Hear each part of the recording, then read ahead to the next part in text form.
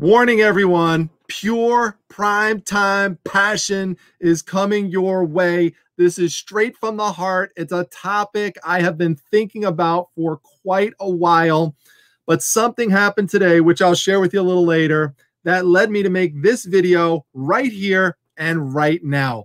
And this has to do with what is the number one characteristic or trait that I feel leads to the most success in reselling for me and in other areas of my life, such as other business ventures that I've been involved with, my professional career, and my personal life. Now, I've heard this question asked to many other resellers and many other people in different areas of business and in life who've had lots of success. And there's lots of great answers to that question, which, you know, there's no wrong answer to it after all. It's personal to the individual. But I would think about the answer and I would say, is that what I would pick for me? And some of the answers are great. They're things like being highly motivated, uh, being well organized, having great time management skills, having a lot of specialized knowledge in a few niches or niches, being very good in social networking. All of those things I agree are very important. But as I continue to think about my own behaviors and figure out what was the differentiator, what was the thing I felt was the most important, especially when comparing myself and looking at what other resellers would do, for example, at the same places where I was sourcing. I'll share with you example in just a moment. And then I started to look at more and think about some of the comments that I hear, not only in this channel and in my Facebook group, the Facebook Reselling Resource Center, both of which have 25,000 members slash subscribers in them. And so I've read tens of thousands of comments, you know, over the years. So I feel like I have a, a good finger on what a lot of people are thinking. And the number one thing that I felt was the differentiator is patience, the ability to be patient. And so then the opposite thought comes in says, well, if I feel like that's the number one thing that leads to success for me, if you are impatient, isn't that going to be something that rises to the top of the list there in terms of something that could really harm your reselling business? And my personal opinion is I think that it, it is. Uh, let me show you and, and explain to you what I think would be a great example. We're going to do several examples here, and then I'll tell you what happened today. So, many of you know I love to go to estate sales, one of many places I love to source. But I could guarantee you 100% of the time when I go out sourcing at an estate sale, no exaggeration, that no matter how many people were waiting on the waiting list or waiting online. And sometimes it's well over 100 people. And no matter how packed the house is with stuff, that within an hour of the sale starting and people going in, that the vast majority of those people will be gone, including the resellers. Gone.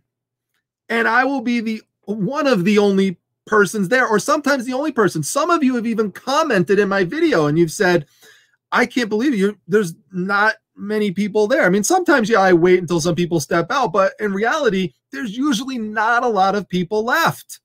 Here, here, a great example. let me share my screen with you and show you something. This is one of my favorite videos that I did. This one is called Thousands of Dollars of Treasures Found in a Barn in the Middle of Nowhere. This is the second day of the estate sale. How is it possible that all of these posters are still sitting there the second day? Well, number one, and it has to do with patience, people didn't want to take the time to open up the posters. Number two, there were so many of them there that people didn't have the patience to go through them. Now, how do I know that? I know that because I heard people say it and I watch people say it. remember, I work as a neuropsychologist, so I am trained uh, professionally at studying people's behaviors and looking for patterns and things like that. And also just being introspective with myself and figuring out that this really is a differentiator. And I kept hearing over and over people saying, you know, they maybe look through a couple of them and say, uh, this is this is too much work. This is this is going to take too long. I don't have the patience for this this is overwhelming. I'm out of here. People would sometimes laugh. And these were people who they were either visibly showing that they had their eBay app. Sometimes I'd hear some cha-chings. Some of them were people I just knew were recognized as resellers. Look at all this stuff. Literally thousands of dollars of posters just, just left behind. So that is just one example. And this is not something that's, you know, an uncommon thing. This is something that I see all the time. Another great example of this uh, is when you come across, let's say, a box or a tote. And this is what I see all the time. I call it box surfing. What happens is you'll get a box like this, you'll see it, and it's filled with stuff, lots of papers and stuff, or just things that are just filled in, lots of smalls and stuff. And what'll happen is someone walk by it, and this is the sourcing method that a lot of I see some resellers do this. This is the sourcing method. It's this. Just walk on by. That's it. Or if you're lucky, maybe you'll see this. Like maybe there's like a know, some some type of paper item up top. Maybe one layer will get lifted up, and that's it. And everything is just left behind. Someone just sent me a message on Instagram. I don't know if he's watching. He could put it in the comment section on how he heard me talking about this. He went to a sale and he saw five people walking by a box like this and just, you know, just looking at it, maybe just doing a surface look like that and just walk by. And then he took the time to dig to the bottom, take the stuff out, and he found all the treasures that were in there and he made a lot of money. You got to take the time to do that. Now, people will leave rooms all the time because they don't instantly see the treasure. It's not right there in front of their eyes. So they leave. Or in the case that I just showed you, there clearly is a room with lots of treasures, but it takes time to kind of sort through it and find it. So they run out of the room. Think about this. This makes zero sense. You you don't want to take the time to go through the treasures that are there because you hope that you'll run into another room and possibly find a treasure that's sitting right there that you could that you could grab. Why do that if they're already you're guaranteed 100% there there looks like there's a whole bunch of treasures to go through to you should be able to find something but it's just not instant so you leave. So it's this this desire for instant gratification. You have to be able to delay gratification. It doesn't have to be instant every time. It takes some time to go through stuff. So that then leads to what happened today in my Facebook group. So in my Facebook group, uh, one of the things that I do there is I post resources and I post news articles in the announcement section that are related to reselling. And as you know from watching this channel, one of the other areas that my wife and I love to source from is Shop Goodwill, the online auction site. I've done many unboxing videos for you uh, from there. I've broken things down, shown you the cost of goods, and then I've done follow up videos showing you the sales and the profit margins that we have made, which have been big from some of these scores. And so, you know, it's always new people coming into the group and stuff, and not everyone watches the videos. So I shared a link to this story here. Let me let me get it up here on the screen for you so you could see it. This is from Forbes. It says Goodwill's hidden gem, a growing online business that sold $1 billion of used stuff. So the article goes into, you know, the origins of the company and how much money they're making now and how they plan to grow. So I dropped the link to it into the group and I said something along the lines of, you know, if FYI, if you're not sourcing at Shop Goodwill, you're missing out. And what I got in response to that was a lot of negativity in terms of, well, no, you can't find anything there. It's impossible. Or the prices are too high. You can't find stuff there. Now, you might be watching this right now and thinking the exact same thing. But again, I've shown evidence on this channel that it's not true. I'll, I'll show some examples in a moment. Or the shipping is too high. So you lose all money in the shipping. You, you can't make any, any money that way. Okay.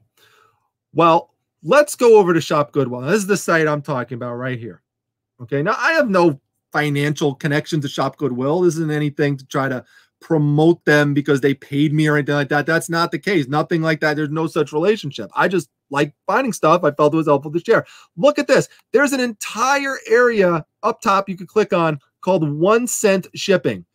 And there are 51,268 results. So you mean to tell me that there are no good one cent shipping deals out of 51,268. That doesn't make any sense. I mean, just ask my friend Kat, the nurse flipper. Look at her uh, her video right here. My method for buying on Shop Goodwill that I made thousands from last year. Last year, she even won the thrift battle that she had on my channel from an item that she got through a Shop Goodwill. Or if you don't want to listen to what I'm saying, if you don't want to listen to Kat says, listen to Joe from the Family Flips channel. I mean, this guy, him and his wife Jessica, they they source from Goodwill all the time. They make a ton of money from sourcing through there, and they star on a TV show that is about getting like big things, big lots and stuff to unbox. So there's lots of people, lots of examples of people doing very well on there. Uh, I've done many what sold videos that show you these are things like here's an example right here. This is an $80 pin that we got from Shop Goodwill. Um, now we might have taken a couple bucks off. Maybe we got 75 from it. I don't remember right now. This is just an example of things that came in a big Disney lot that we got everything for. I believe it was about like a dollar a piece uh, per item. So there was that one. Uh, then there was another pin that I showed in that video that brought it. Like, here's another one right here. And I think this one was, I don't remember what the exact price on it was. Here we go. This is a Dumbo pin. Another one, uh, $80. I, am pretty sure that one sold for right there. And then later on in the video, uh, there was another one. Where was it? Uh, this charm bracelet here that we also got $175. And we might have taken a little bit off of that. But the point is, we had a dollar invested into it. Now, I can't remember right now which items it was that we were able to see some elements of when we were doing the sourcing but that's how we were able to find it was being patient. When we were looking through the pictures and looking through the photos we saw certain things. Now the vast majority of stuff we didn't know we were getting but we knew enough from taking the time. This is the key. Again this is with the patience. We took the time to go through it and to see okay listen there's there's a few items there that look like they could have some really high potential value that other people missed because they didn't take the time to go through those uh, types of items. So it's very very important to take the time to go through that stuff. Um, now you know i put up this poll here because i'm not exactly sure what the main reason is for a lot of the impatience that i see. Is it more of a generational thing? I'm not sure. I mean, put your comments down below, but I have put a poll up in uh, the community section of my face, uh, not my Facebook group. This is uh, actually in the uh, YouTube channel here, which was if people thought either thought that they had attention deficit disorder or attention deficit hyperactivity disorder, uh, or if they were diagnosed. 13% of people said that they were diagnosed with attention deficit disorder. 10% said they were diagnosed with attention uh, deficit hyperactivity disorder. 14% of people thought they had ADD, and 7% of people uh, thought that they had ADHD. So that's a, a big percentage of, of people. So, you know, if that's something that you want me to do a video about in the future in terms of you know ways to kind of improve some weaknesses that could come from that uh, that's something i'm certainly open to if people are interested in that. Remember this is not something that's designed to, to bash people. This is something designed to help people grow because i see it as a persisting problem. Um, over here you could see videos. I just did a video the other day called these sell fast on ebay for good money. This is through a shop goodwill a haul that we did. It shows all the animal jewelry um, uh, that we that we well not all but shows a lot of it that we sold and the profit that we made on it. And we had barely anything into it and we did very well on it. The disney stuff i just talked to mrs primetime before we made this video. We killed it on that lot and she told me she still hasn't even put up half of the stuff from that yet. So there's still more of that disney stuff there. Other instances where i see problems with patience has to do with dealing with ebay. Now i've given ebay their fair share of criticism. I've also complimented them when they uh, deserve it. Um, but you know, the thing I see often is that if eBay does something that people don't like, or if something goes wrong, if they have a return that goes bad, if they felt someone scammed them, if they got a negative feedback, whatever. I hear too many people with a with a knee jerk reaction that just says, "That's it, I'm quitting." Either I'm quitting eBay or I'm just quitting reselling for one or two instances of something going wrong. You can't do that. You've got to find ways to work around these problems. As mad as you might be at some of these things, generally, these are things that can be worked around. Now, as I said last night on the show that I did with Don, the auction professor, you go check that out. It was an interview last night on his on his show. Um, there are instances where if you're really, you know, trying your best, you tried your hardest in something and it's just not working out, it's just not a good fit, then yeah, it could be a good time to then move on into something else. But what I'm talking about is people who I think are leaving things prematurely uh, because they're just getting frustrated and they just don't uh, have the patience with things. Take the time to invest into your business, to do the research, to look through things you know, you have to be able to withstand a few times when you're frustrated about something. Either something goes wrong with eBay, or there's a lot of stuff in a room when you're going to source, or there's some work involved with going through boxes and unfurling posters and that sort of thing. Or going through a bunch of listings to try to find something that could be the hidden treasure. That's why it's called treasure hunting. That's why we call it the thrill of the hunt if it was just sitting right there, and sometimes it, you get lucky, you know, something's sitting right there, you go, you grab it, it's right there in front of your face. Sometimes that will happen. But, you know, a lot of times you got to do some, you got to do some digging. Now, going back to Shop Good Goodwill for a moment, like I said, there's those one cent shipping things. Um, there's some places that do free shipping. Is the shipping too high in some instances? Absolutely. What do I tell you in that instance? Walk past the deal. Walk past the deal.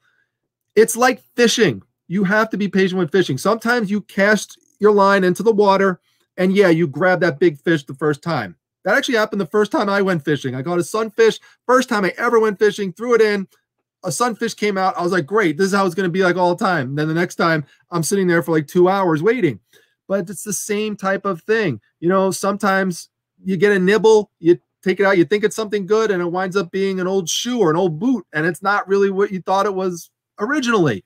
So you have to throw it back in again. And sometimes you just have a bad day and you got to come back the next day and throw your line in again. So think of reselling like fishing. That could be a good analogy uh, that could help you out. Same thing when I'm sourcing on Craigslist. I will sometimes wait months filtering out all sorts of responses to my Craigslist ad on comic books and collectibles.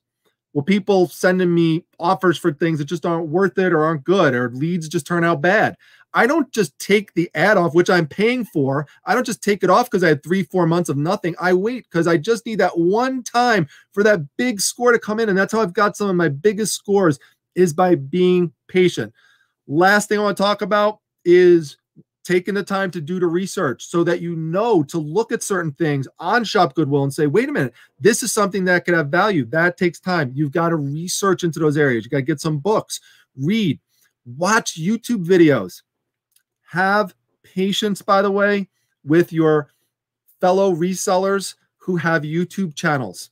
A lot of them are just getting started for the first time and they can't do everything perfect right off the bat. So if they don't tell you exactly what you're waiting to hear within 60 seconds or you know if there's something off with the audio or something let them know if it but you know be be nice okay? Like you know try not to scare them away. They're trying. They can't have everything perfect the first time around. Now same thing for uh, in terms of some advice regarding patience for content creators on youtube. You got to be patient with that too. You can't grow all this. You can't grow your reselling business or your channel all in one day. Yeah you could be lucky just like we talked about with fishing. You could get hot and all of a sudden you go on YouTube and you get these killer videos, and all of a sudden you're like the most popular thing. That's not going to happen to most people. So you've got to take the time to just continue to put the work in and grow. That's the thing. Rome, my, my dad, my dad always used to say, Rome was not built in a day. It was one of his most famous sayings. And I always think about that because it's so true. So stick with it. If you're trying to build something, you have a dream, stick with that and keep at it and you'll get there. Stop giving up too early on things. There's lots of opportunity out there for everyone. With that being said, everyone, I'm going to sign off for this one. If you enjoyed the video, make sure you hit the like button. Make sure you comment down below uh, and also subscribe if you haven't done so yet. I'd really appreciate that. And um, I will see you back in the next video, everyone. Take care.